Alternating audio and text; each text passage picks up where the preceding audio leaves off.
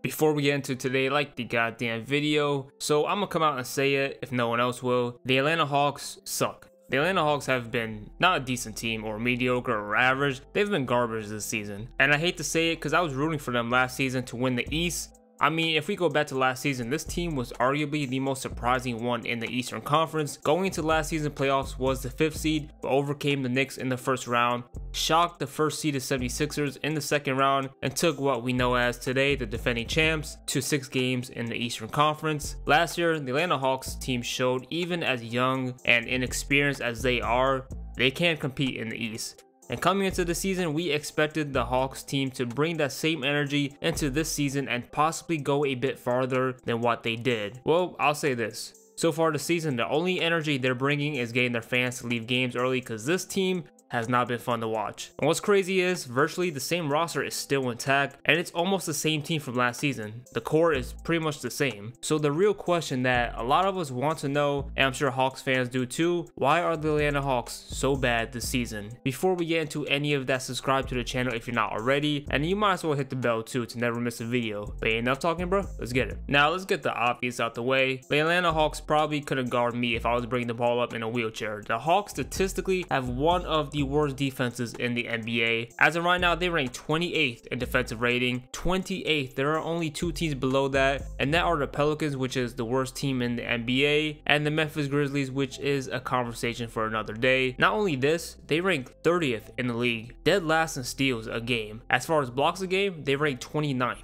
And we could go down the numbers all day, but the simple matter of fact is, this team needs to put more heart in their defense. Clint Capela last season was a huge factor for this team, especially when defending the paint. Last season, the Hawks ranked 12th in opponents' field goal percentage a game. This season, that has won to 23rd in the league. The Hawks as a whole have been letting teams like the Wizards, Nets, Nuggets have a field day in the paint. If you lose the paint game, you most likely will lose the game. And if you can't protect the paint, you better make sure to be protecting the three and keep opponents cold from there. But surprise, surprise, the Hawks haven't even done that. Last season, even though they have guys on the perimeter like Trae Young, Bogdanovich, Huerter, Cam Reddish, John Collins sometimes, you know, decent to solid defenders. I didn't name any world-class defenders out there, but this team last season ranked third in the league in opponents' three-point percentage. That has drastically shifted all the way to 18th. They have been bad at rotating. When someone comes for a double team or to help, they have been so slow to get back to their man. Overall, they just look incomplete and inexperienced all over again. I figured another year with basically the same team, they would have at least improved a bit, but with this defense like this, if they don't make any changes or adjustments, and remember, the coach takes some blame for this too, then this team doesn't have a chance of even making a play-in tournament.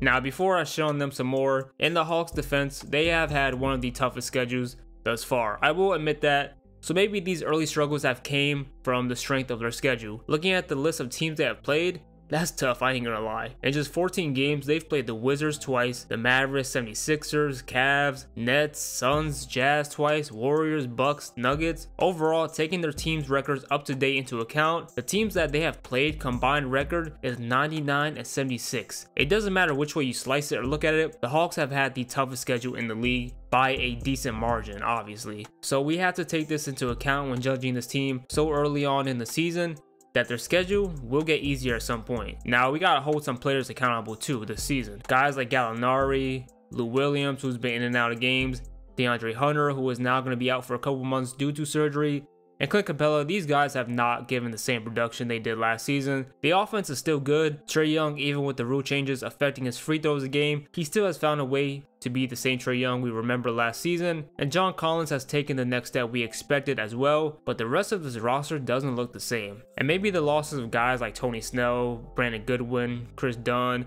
had more of an effect than we thought. Or maybe it's the implement of other guys in the rotation, such as Delon Wright or Gorgui Dieng. Throwing some guys off, whatever the case is, they just don't look right. We know they have the potential to do so, do much more, and if it wasn't for their postseason run last year, we wouldn't be putting such expectations on them. Maybe the run last season was a fluke, and this team really isn't as nice as we thought, or maybe it's just a rough start to the season and they're going to come together later on down the road.